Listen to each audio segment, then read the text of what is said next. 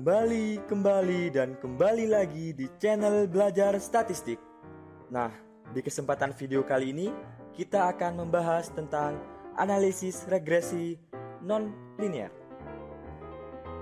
Nah, non-linear. Linear aja udah pusing, apalagi yang non-linear. Terus apa bedanya?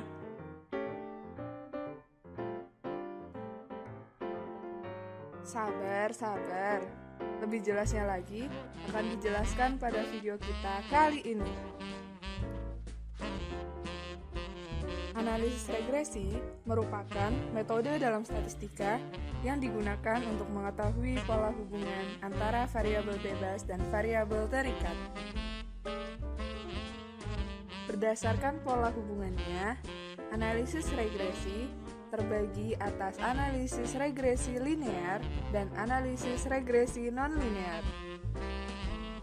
Regresi nonlinear adalah suatu metode untuk mendapatkan model nonlinear yang menyatakan hubungan variabel dependen dan variabel independen.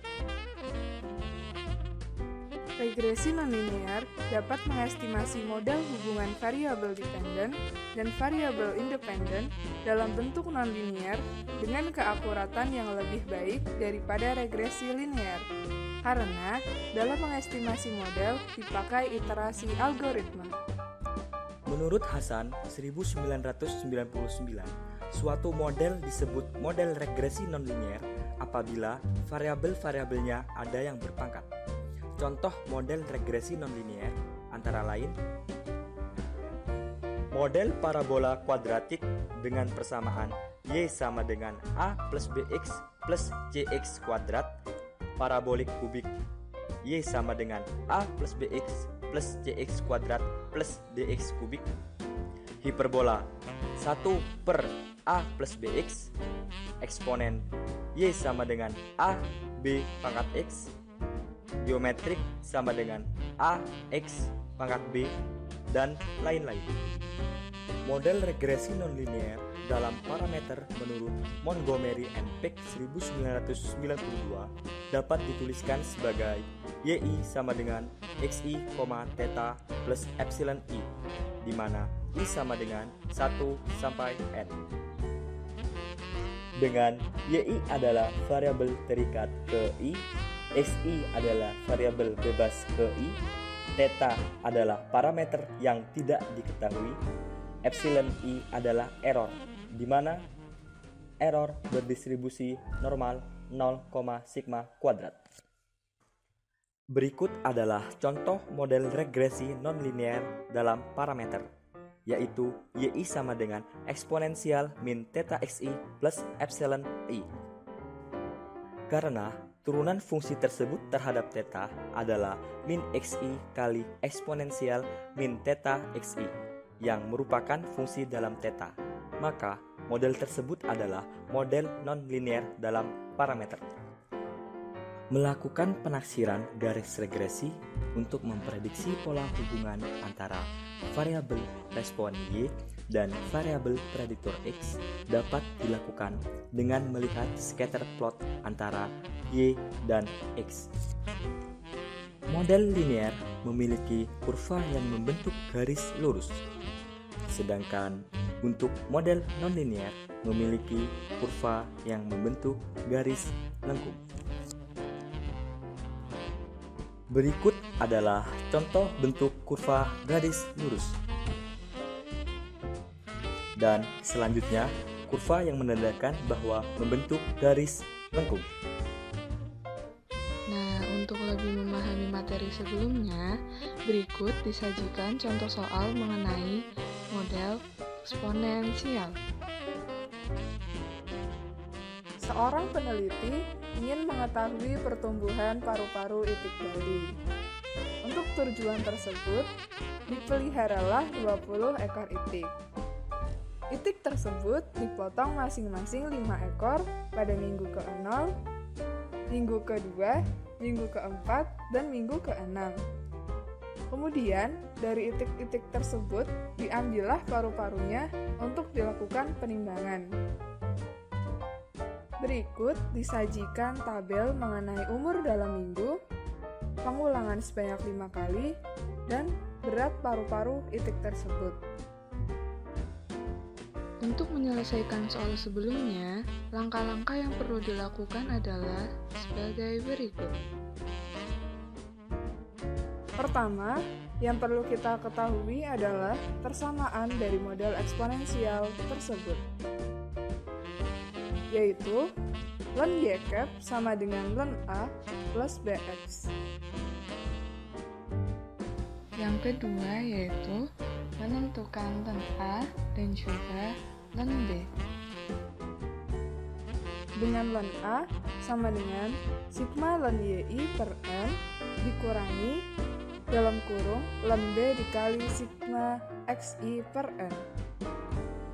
Kemudian, len b dapat dihitung dengan rumus len b sama dengan n kali sigma xi dikali len yi dikurangi sigma xi dikali sigma len yi dibagi n dikali sigma xi kuadrat dikurangi sigma xi dikuadratkan.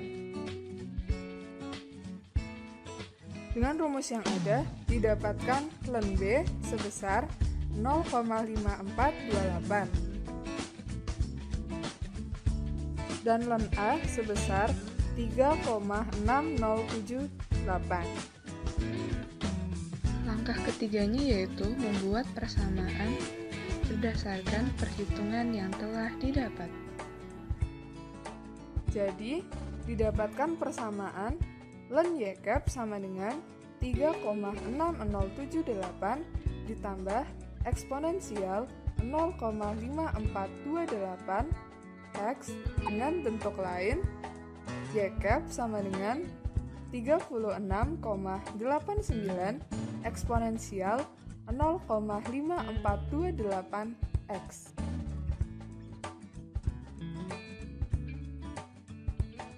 Nah, berikutnya kita akan mengerjakan soal yang sama menggunakan software SPSS. Pertama-tama, langsung saja kita buka software SPSS-nya. Terus kita tekan graph, pilih legacy dialog, kemudian pilih yang scatter garis miring dot. Kemudian pilih yang scatter simple scatter, terus tekan define. Terus masukkan variabel y-nya ke dalam y-axis dan variabel x-nya ke dalam x-axis. Terus tekan OK. Dan berikut adalah output dari software SPSS untuk scatter plot dari variabel x dan variabel y. Terus langkah berikutnya, kita akan membuat variabel yang baru dengan nama ly. Nah, gimana caranya? Pertama langsung tekan transform, kemudian pilih compute variable. Terus kita beri nama variabelnya ly. Terus kemudian tekan all. Langkah berikutnya kita cari yang fungsinya len. Kemudian tekan dua kali. Terus kita isikan variabel y ke dalam len ini. Caranya gimana? Tekan aja yang y double klik. Len dari variabel y, terus tekan OK.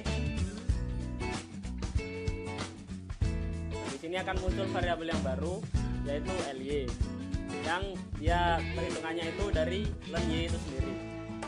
Nah, langkah berikutnya gimana? Tekan analyze. Terus pilih regression. Kemudian pilih linear. Kita masukkan dependent variabelnya yaitu ly dan independent variabelnya itu x. Kemudian tekan OK. Dan outputnya adalah sebagai berikut. Nah, yang kita perlukan cuma bagian bawah ini aja. Jadi kita dapatkan nilai ln A sama dengan 3,608 dan ln B 0,543. Jadi kita dapatkan persamaan ln y cap sama dengan 3,6078 plus e pangkat 0,5428x. Berikut adalah contoh soal model logistik. Perusahaan X bergerak di bidang garmen. Diketahui hasil penjualan produk perusahaan tersebut dari mulai diproduksi sampai produk tersebut berumur 24 bulan serta keuntungannya adalah sebagai berikut. Untuk menyelesaikan soal sebelumnya, langkah-langkah yang perlu dilakukan yaitu sebagai berikut. Perlu diketahui persamaan model logistik adalah log Y sama dengan min log A min log BF. Dengan min log A sama dengan sigma log Y per N ditambah dalam kurung min log B dikali sigma xi per N. Dan min log B sendiri adalah min log B sama dengan N dikali sigma xi log Y min sigma xi dikali sigma log Y per N dikali sigma xi kuadrat dikurangi sigma xi dikuadratkan. Untuk mentransformasikan persamaan regresi nonlinier logistik dalam bentuk linier, maka diperlukan nilai log y, x kuadrat, dan x log y. Setelah dilakukan perhitungan, didapatkan hasil sebagai berikut. Min log B sebesar 0,2182. Sehingga min log A dapat diketahui sebesar 2,0111. Jadi, log Y gap sama dengan 2,011 ditambah 0,2182x.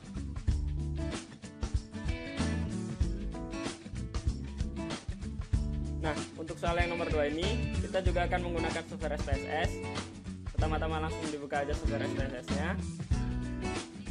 Kemudian, inputkan nilai dari variabel X dan variabel Y. Terus, kita akan melihat bagaimana bentuk grafik dari variabel X dan variabel Y atau scatter plot dari kedua variabel ini. Caranya gimana? Tekan graph, kemudian pilih legacy dialog, kemudian pilih scatter plot terus pilih simple scatter terus tekan define kemudian kita masukkan variabel y nya ke dalam y axis dan variabel x nya ke dalam x axis kemudian tekan OK. Nah dari grafik berikut terlihat bahwa mereka memiliki hubungan yang nonlinear dibuktikan dengan bentuk kurva yang melengkung. Terus kembali ke datanya. Kemudian gimana cara nyari persamaan regresi nonlinearnya tekan analyze terus pilih regression. Pilih yang curve estimation. Kemudian dependent variabelnya kita masukkan yang y dan independent variabelnya kita masukkan yang x. Terus di sini kita pilih yang logistik dan display the ANOVA table kemudian tekan OK. Nah dari output yang paling bawah ini yang ini terlihat bahwa nilai dari B adalah 0,605 dan nilai dari A adalah 0,01. Yap, berakhir sudah penjelasan dari kita. Jangan lupa like, comment, and subscribe. Dan sampai jumpa.